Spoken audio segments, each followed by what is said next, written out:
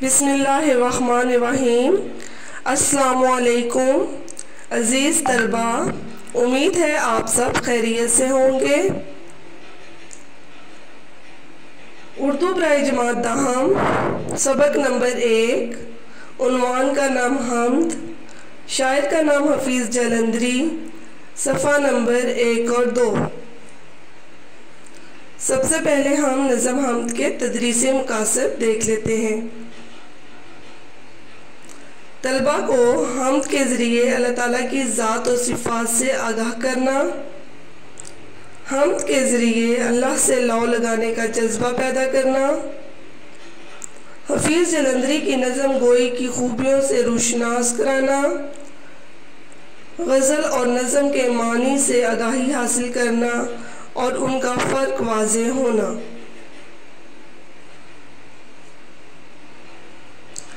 इस सबक में आप क्या क्या सीखेंगे? शायर का तारुफ। हफीज़ जलंधरी के कलाम की नुमाया खूबियाँ। नज़म और गज़ल में फ़र्क। हम किसे कहते हैं? हम अल्लाह की तारीफ़ कैसे बयान कर सकते हैं? अल्लाह ताला की सिफ़ात जिनका ज़िक्र कुरान में है। नज़म हम की बुलंदख्वानी मुश्किल अल्फाज के मायने तशरी का तरीक़ाकार नज़म की आसान तशरी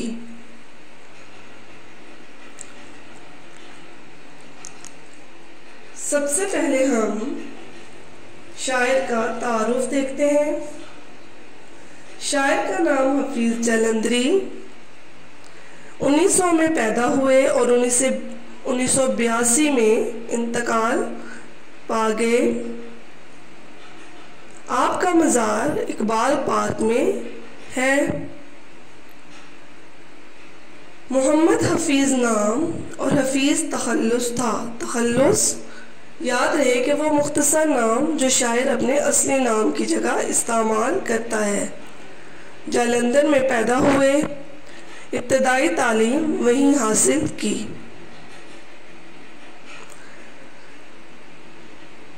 शेर व शायरी का फितरी ज़ौक़ रखते थे।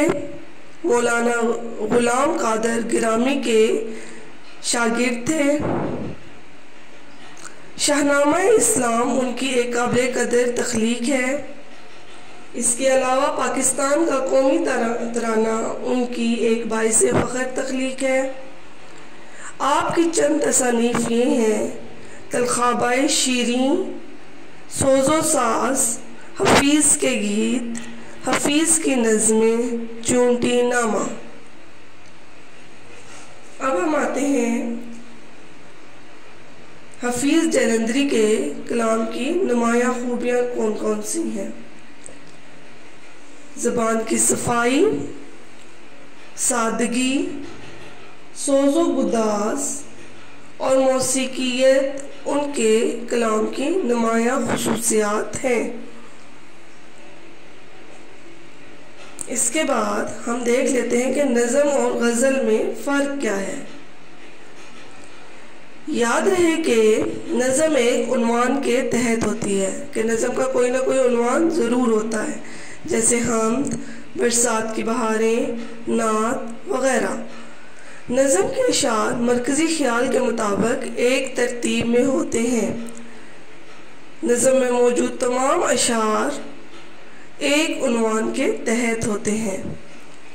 जबकि गज़ल का कोई उनवान नहीं होता गज़ल का हर शेर दूसरे शेर से अलग होता है। गज़ल के हर शेर का अलग मफहम हो सकता है।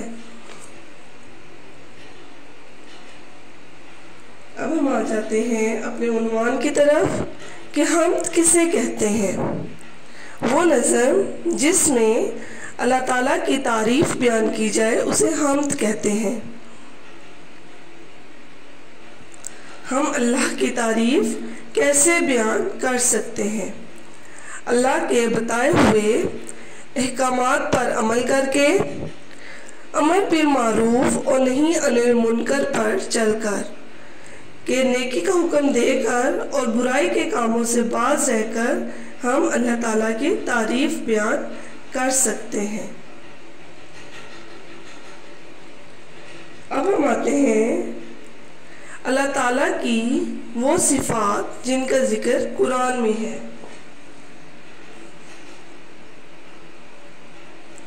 अल्लाह ताला की बेशुमार सिफात हैं जिनका अहाता नहीं किया जा सकता। जिस तरह अल्लाह ताला की ज़ात की कोई हद और इंतहा नहीं, इसी तरह उसकी सिफात की भी कोई हद और इंतहा नहीं है। अल्लाह ताला की सिफात और कमालात। ना तो हमारे शुमार में आ सकते, ना तो हमारे शुमार में आ सकते हैं और ना हम उनको बयान कर सकते हैं। अल्लाह ताला की ज़ात बेपाया है। अल्लाह की सिफात जिनका ज़िक्र कुरान में है, सूरह तहा में है, वो उन सब चीज़ों को जानता है जो उनके आगे हैं और जो उनके पीछे हैं। और वो अपने इल्म से उसके इल्म का अहाता नहीं कर सकते। सूरह शोरा में है, उस जैसा कोई नहीं और वही सुनता देखता है।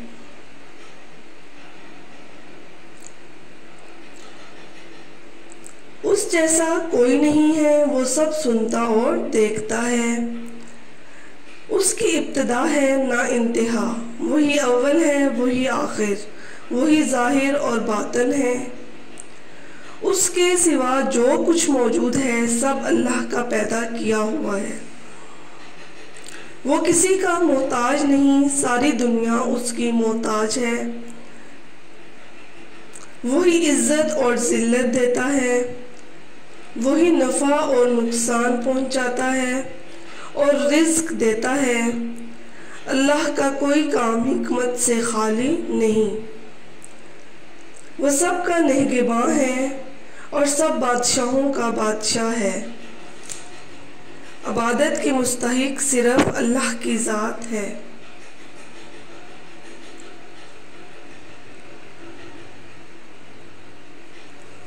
अब हम आते हैं नज़म की बुलंद खानी की तरफ़, जो कि सफ़ा नंबर दो पर मौजूद है। नज़म की बुलंद खानी करते हैं। सबके हाथ में पेंसिल मौजूद होनी चाहिए। नज़म की बुलंद खानी के बाद हम मुश्किल अल्फाज के मायने लिखेंगे। उसी ने एक हरफ कुन से पैदा कर दिया आलम। कशाकश की सदाए हाओ से भर दिया आलम।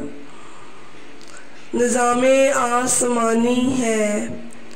उसी की हुक्मरानी से बहारे जावदानी है, उसी की बागबानी से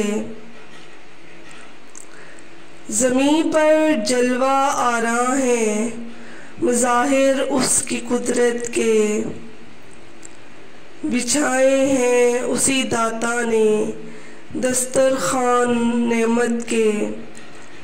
ये सर्दो गर्म खुशको तर, उजाला और तारीकी। नज़र आती हैं सब में शान, उसी की ज़ाते बारी की वही है कायनात और उसकी मखलूक़ात का खालिक। नबातात और जमादात और हैवानात का खालिक। वही खालिक है दिल का और दिल के नेक इरादों का। वही मालिक हमारा और हमारे बाप दादों का। बशर को फितरत इस्लाम पर पैदा किया जिसने। मोहम्मद मुस्तफ़ा के नाम पर शैदा किया जिसने। सल्लल्लाहु अलैहि वसल्लम अब हम नज़म हमद के मुश्किल अल्फाज के मायने जान लेते हैं। कुन हो जा आलम जहाँ दुनिया कशाकश, कशमकश हाओ हूँ गहमा गहमी, बहारे जावदानी, हमेशा रहने वाली बहार, बागबानी बाग की देखभाल, जलवा आरा, जलवा दिखाना, बशर इंसान शैदा कुर्बान, नबातात जड़ी बूटियाँ, जमादात बेजान चीज़ें।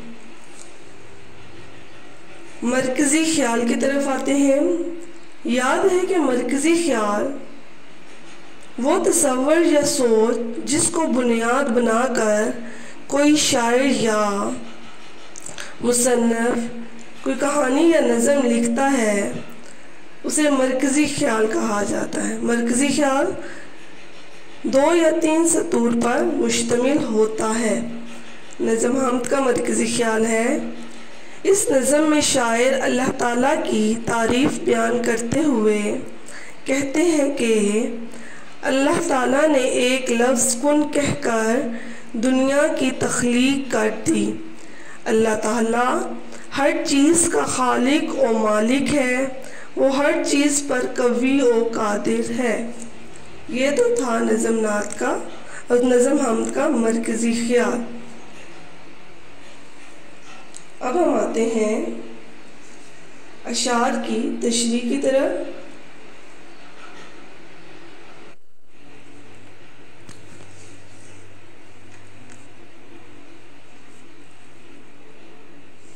अशार की तशरी करने से पहले हम अशार की तशरी का तरीक़ाकार जान लेते हैं।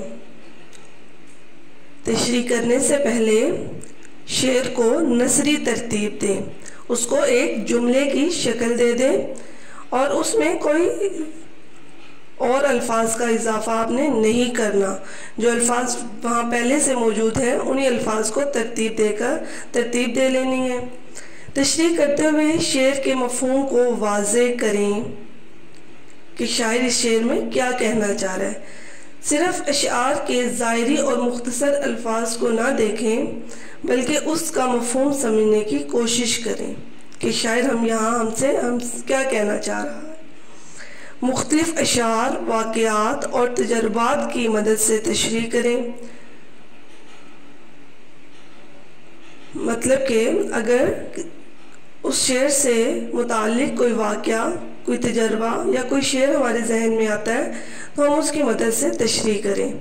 जहाँ ज़रूरी हो, वहाँ कुरानी आयात और हदीस का हवाला दे सकते हैं। अब हम आते हैं नज़म हम की तशरी की तरफ़। पहला शेर है, उसी ने एक हरफे कुन से पैदा कर दिया आलम। कशाकश की सदाए हाउ से भर दिया आलम। तशरी है इसकी। इस शेर में शायद अल्लाह ताला की तारीफ़ बयान करते हुए कहते हैं कि अल्लाह ताला ही है जो इस कायनात का खालिक और मालिक है। अल्लाह ताला ने ये दुनिया हमारे लिए तख्लीक की है और उस दुनिया और इस दुनिया की तख्लीक सिर्फ़ लफ्ज़ कुन कहकर हुई। अल्लाह ताला ने कहा, कुन हो जा और फाया कुन यानी हो गया। अल्लाह ताला ने हज़रत आदम इस्लाम को पैदा किया और फिर इस दुनिया में भेज दिया। और इस दुनिया को रौनक बख्शने के लिए दुनिया में बेशुमार चीज़ें पैदा की। अल्लाह ताला ने ये सब चीज़ें इंसानों के लिए पैदा की हैं। आज दुनिया में हर तरफ़ रौनक ही रौनक है। इंसानों की सहूलत और इस्तेमाल के लिए अल्लाह ताला ने बेशुमार चीज़ें बनाई। अल्लाह ताला की ज़ात बाबरकत ही है, जो कि तमाम कायनात का खालिक व मालिक है। उसके हुक्म के बगैर ना तो कोई काम हो सकता है और ना ही होगा। अब हम आते हैं शेर नंबर दो की तरफ़। निज़ाम आसमानी है उसी की हुक्मरानी से। बहारे जावदानी है उसी की बागबानी से। शेर नंबर दो, इसकी तशरी कुछ इस तरह है। इस शेर में शायर अल्लाह ताला की तारीफ़ बयान करते हुए कहते हैं कि अल्लाह ताला के हुक्म से आसमान का निज़ाम चल रहा है कि रात और दिन का बदल कर बदल बदल कर आना अल्लाह ताला के हुक्म से है। अल्लाह ही वो वाहिद हस्ती है जो इस निज़ाम को खुश असलूबी से, खुश असलूबी से चला रहा है। सूरज अपने मुकर वक्त पर निकलता है और अपने मुकर वक्त पर गरूब हो जाता है। ये सब चीज़ें अल्लाह ताला के हुक्म के ताबे हैं। रात और दिन का बदल बदल कर आना और इस कायनात का निज़ाम, नज़म ज़ब्त से चलाना, ये सब अल्लाह ताला के हाथ में है। अल्लाह ताला इस कायनात का वाहिद खालिक व मालिक है। अगर अल्लाह के सिवा कोई दूसरा खुदा होता तो इस कायनात का निज़ाम दरहम बरहम हो जाता। इस शायर में, इस शेर में शायर ने दुनिया को एक बाग से तशबी दी है। तशबी किसी चीज़ को किसी चीज़ की मानत करार देना। और अल्लाह ताला इस बाग का रखवाला है, रखवाला, देखभाल करने वाला।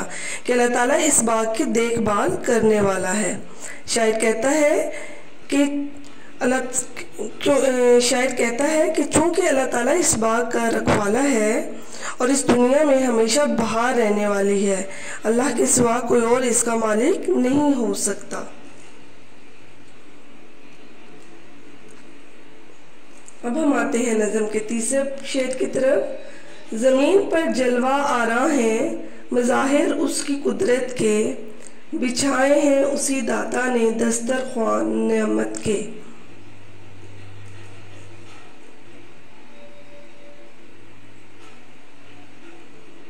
शेर नंबर तीन की तशरी कुछ इस तरह है। शायद कहता है कि इस ज़मीन पर मौजूद हर चीज़ में अल्लाह ताला का जलवा नज़र आता है।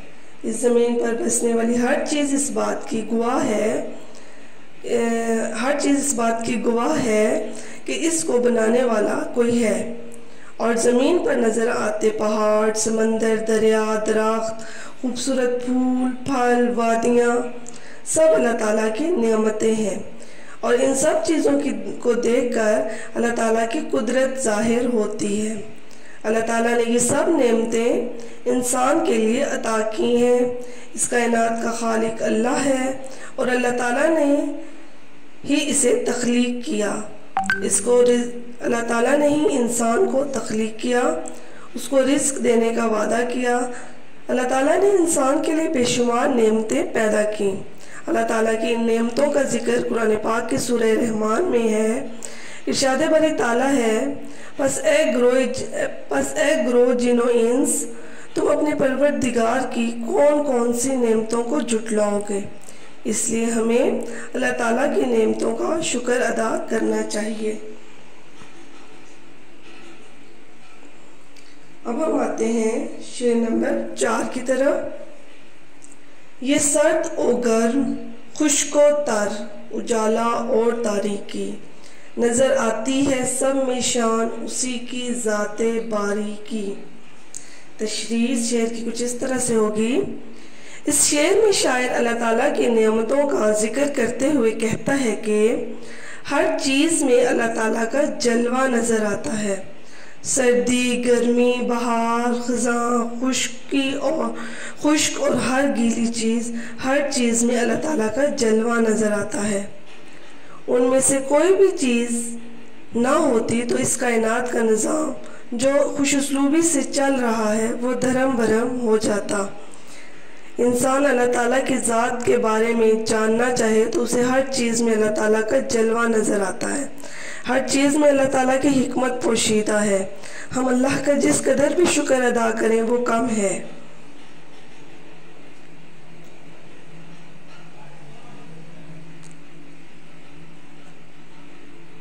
हम आते हैं शेर नंबर पाँच की तरफ़। वही है कायनात और इस, उसकी मखलूक़ का खालिक, नबातात और जमादात और हैवानात का खालिक।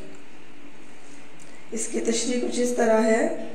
अल्लाह ताला सारी दुनिया का पैदा करने वाला है। इस दुनिया की तमाम मखलूक़ात भी उसने पैदा की। वो सब का खालिक व मालिक है। इस दुनिया में जितने भी दरख्त, पौधे हैं, सब अल्लाह ताला ने पैदा किए। हर जानदार और बेजान चीज़ का पैदा करने वाला अल्लाह ही है। शायद इस शेर में ये बताना चाहता है कि दुनिया की हर चीज़ अल्लाह ताला ने बनाई है। हर चीज़ ख्वाह वो जानदार हो या बेजान, पहाड़ हो या दरिया, हर चीज़ का पैदा करने वाला अल्लाह ताला है। इस दुनिया में बेशुमार चीज़ें हैं। कुछ हमारे इल्म में है और कुछ हमें मालूम नहीं। जो चीज़ हमें इस दुनिया में, जो चीज़ भी इस दुनिया में मौजूद है, उसका बनाने वाला सिर्फ़ अल्लाह ताला है। अब हम आते हैं शेर नंबर सात की तरफ़। वही खालिक है दिल का और दिल के नेक इरादों का। वही मालिक हमारा और हमारे बाप दादों का। जी तलबा, इस शेर में शायर अल्लाह ताला की हाकमियत बयान करते हुए कहते हैं कि अल्लाह ताला हर चीज़ पर कवि और कादिर है। अल्लाह ताला हमारे इरादों से खूब वाकिफ़ है, क्योंकि अल्लाह ताला गैब का इल्म जानने वाला है।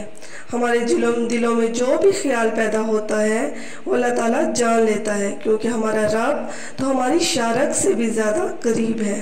अगर हम किसी नेक काम का इरादा करें तो हमें ये जान लेना चाहिए कि नेक काम की तहरीक अल्लाह की तरफ़ से होती है।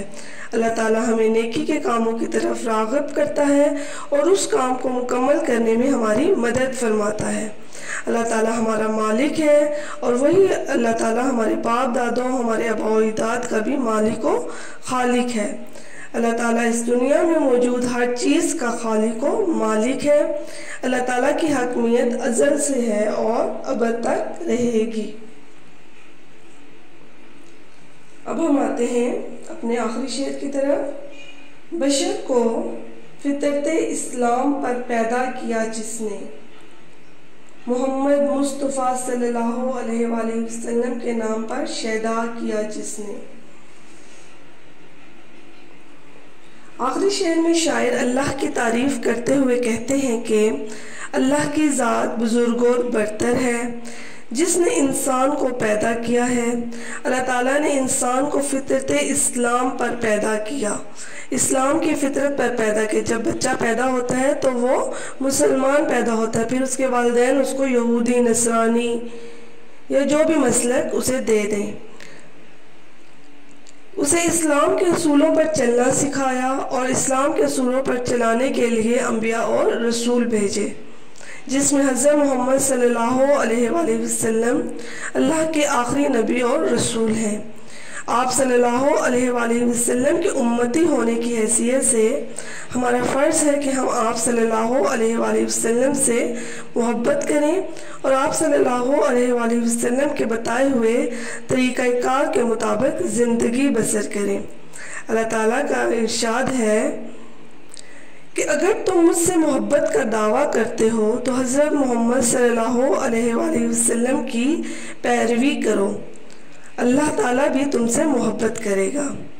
तो हमें चाहिए कि हम नबी करीम सल्लल्लाहु वसल्लम के असवा हसना पर अमल करें और उनके बताए हुए तरीक़ाकार के मुताबिक ज़िंदगी बसर करें।